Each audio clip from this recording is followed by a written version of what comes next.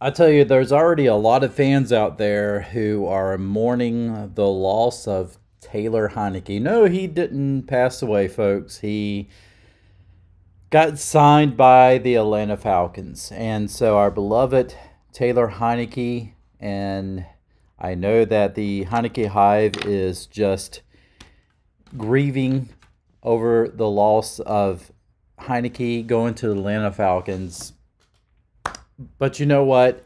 He served us well the last uh, few seasons. As you know, in 2020, he came in toward the end, the tail end of the season after Smith comes in incredibly after I don't know how many surgeries to repair that leg to basically just rebuild that leg. And Smith comes in and basically saves our season and then he's no longer able to to go and Heinicke comes in and almost leads us to a victory over the soon to be Super Bowl champions of the Tampa Bay Buccaneers that year in 2020. And then 2021 hits, and you have um, uh, Fitzpatrick, who is going to be the starting quarterback. He goes down in the first game and never comes back. And so we have Taylor Heinicke who comes in and leads most of that season there. And, well, you know, of course, we get into 2022 and it's kind of more of the same.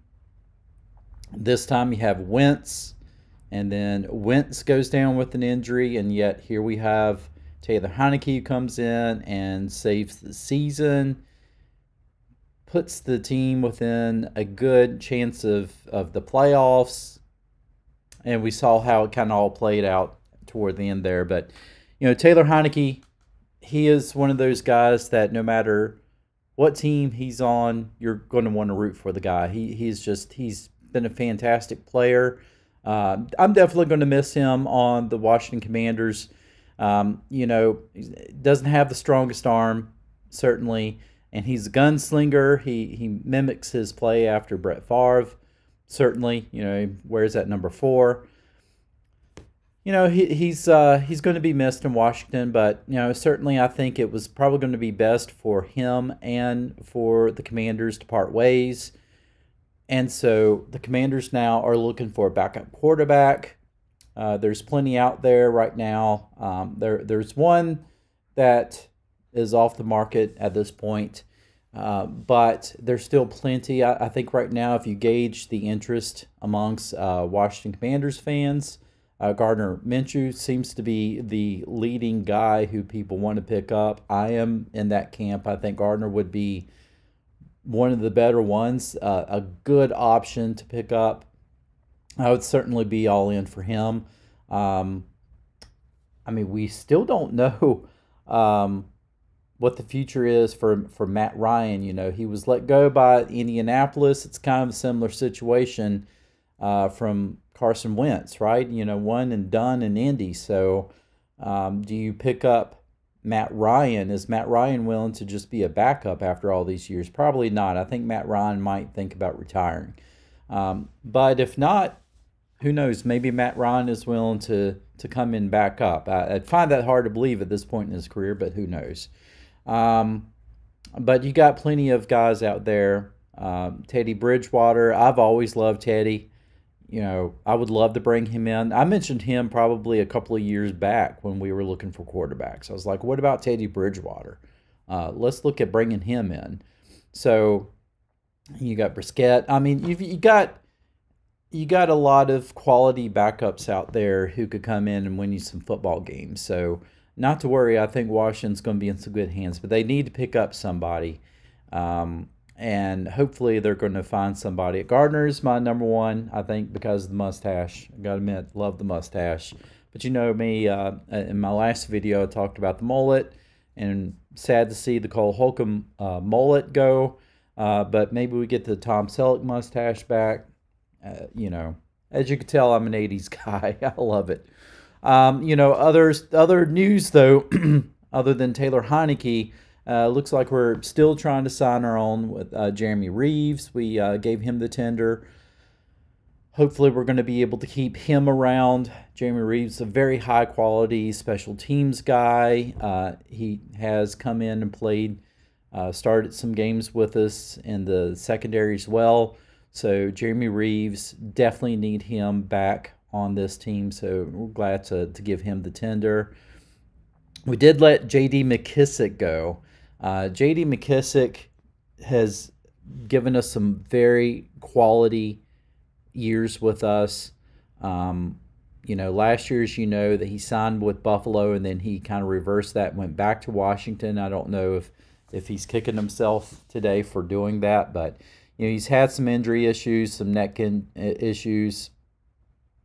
Who knows? Uh, is he still going to try to play or is he thinking maybe this is uh, probably about time for him to, to wind up uh, a career? Who knows? Um, but he, he's given us some quality playing time.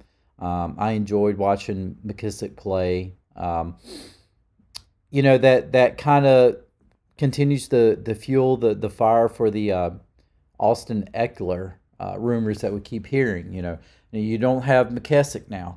Uh, we do have Gibson, but is this going to be Gibson's uh, final call in Washington? Maybe, you know, Gibson is expendable. So we do start to look at Ekeler. we got Ekeler, and then you got Brian Robinson. And, you know, suddenly that doesn't look like such a wild um, trade opportunity. So, I mean, who knows? Who knows what happens with that?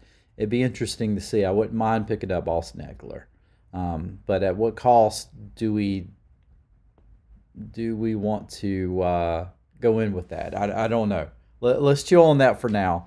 Uh, but let's see what happens. Uh, probably by the time they actually release this video, all that's going to be you know gone. Um, Four o'clock today. Um, free agency starts, so obviously we're going to find out at this point where does Lamar Jackson go um, because he's going to be able to be free to start talking with other teams hopefully things will start clearing up about some of these bigger names. Maybe not so with Aaron Rodgers though, because Aaron Rodgers, from what I'm hearing, the Packers I think have the ability to wait until the draft to decide uh, what they do with trading Aaron Rodgers. So they may wait. They may wait all the way till the draft time uh, before trading Aaron Rodgers just to get the best deal they possibly can. Man, could you believe that? dragging out until then. Um, I mean, I think I think right now it looks like, you know, obviously Aaron Rodgers and, and the Packers are, are uh, separated, and Rodgers is right now going out and dating other teams and getting very intimate with the Jets. But yet it's like it's like the Packers don't want to officially sign the separation papers just yet. So anyway, um, let's not get into all that. Folks, today's official day of free agency. A lot of moves have already kind of happened within the tampering phase. Let's continue to see what happens. If you like this video, please give it a like, give it a share. Helps the algorithm out quite a bit. Uh, leave me a comment. Let me know what you think. Um, uh, let me what let me know what you thought about the Heinicke era in Washington. My hat's off to him. Love the guy. Uh, well wishes for him in the future. That said, well, you guys have a good day. I'll see you in the next one. Hey, you stayed until the very end. Thank you so much. Watch another one right now.